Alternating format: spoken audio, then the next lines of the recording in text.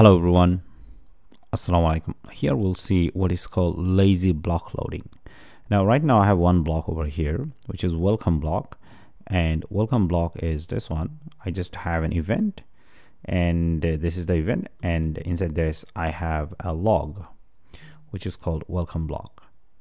Now this is injected right over here and I have a child for that. So I'm going to restart the app and we'll see how it goes all right so as the app restarts actually did already. So we see that it printed welcome bloc which is coming from here. All right. Now in our case in this situation we just have only one bloc which is welcome bloc and it got created automatically. Now here is a extra parameter inside this bloc provider. Now let's go ahead and set it. So this is called lazy now the default value is actually true. We can justify that.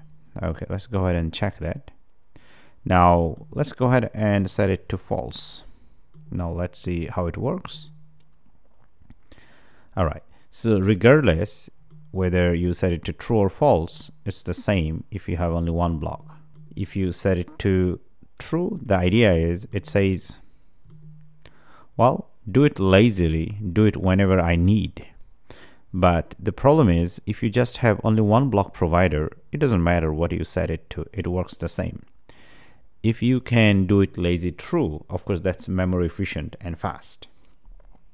Now we'll see this example how it works for multi-bloc provider.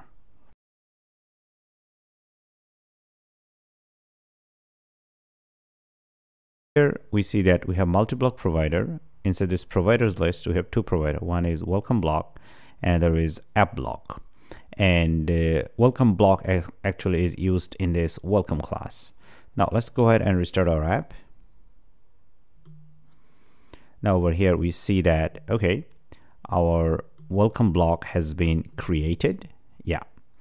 And uh, but this app blocs didn't get created. Well it will get created. If we go to the next page you'll see that here it says that app bloc created. Where is this coming from? This is coming from here. Now, the idea is if you have multiple providers, multiple bloc providers, only one of them will get created immediately.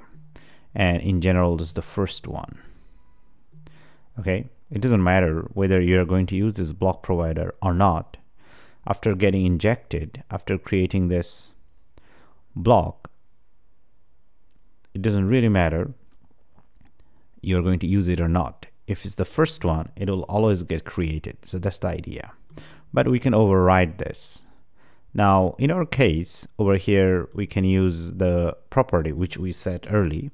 We know that. That's called lazy. Load it quickly. False means that as soon as possible. Set it to false. And it says that load it as soon as possible. Create the blocs as soon as possible.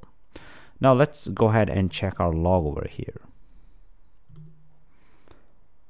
Now here we see the log just changed.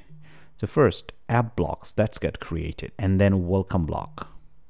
So if you have multiple bloc providers and you want to control which bloc provider should be created first, which means that which bloc should be created first, you can play around with this lazy, this one, lazy set it to false. And of course, at the same time, you also have to make sure the order. If you have a lot of them, of course, the the earlier one would get created first.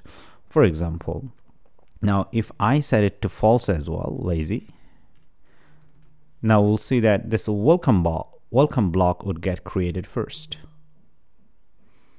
Right? Okay. So yes, with lazy, you can make sure you can you can ask Flutter bloc to create your bloc first. But if you have a lot of them together, then you have to make sure the order that which order you want them to be created. Yeah so that's how lazy bloc loading works and it's very memory efficient